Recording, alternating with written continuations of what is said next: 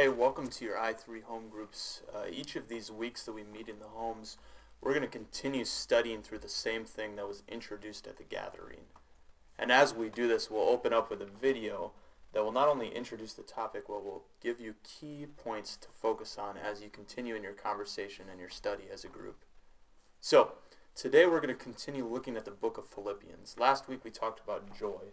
We talked about the ways that God gives us joy.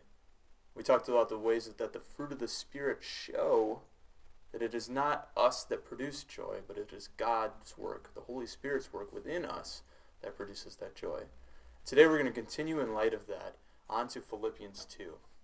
And those of you who have heard me talk about Philippians 2 before know that I hold this as a manifesto for what it means to be a Christian.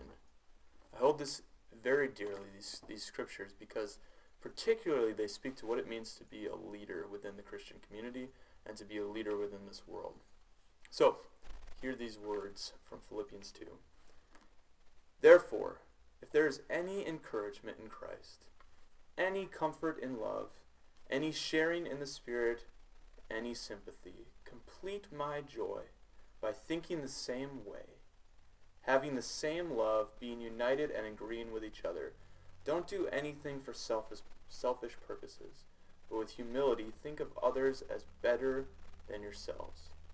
Instead of each person watching out for their own good, watch out for that which is better for others, and adopt the attitude that was of Christ Jesus Though he was in the form God, he did not consider being equal with God something to exploit. But he emptied himself by taking the form of a slave and by becoming like human beings. When he found himself in the form of a human, he humbled himself by becoming obedient to the point of death, even death on a cross. Therefore God highly honored him and gave him a name above all names so that at the name of Jesus everyone in heaven and on earth and under the earth might bow, and every tongue confess that Jesus Christ is Lord to the glory of God the Father. I love this scripture because it opens up saying, hey, if you have any encouragement from being a follower of Christ, if you've gained anything from being a part of a loving community, then make my joy complete. Or not by getting more, not by attending an event more, but by giving of yourself.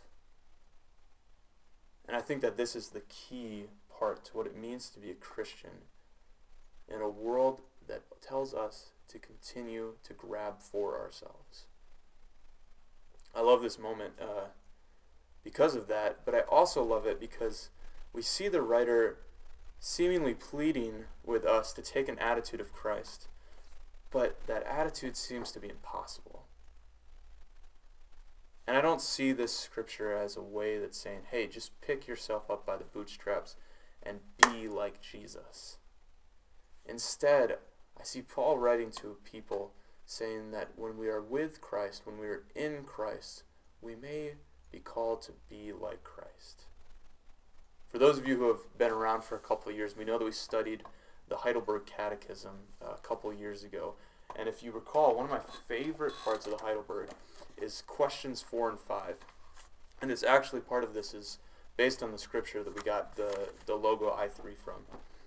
So, question four says, What does God's law require of us?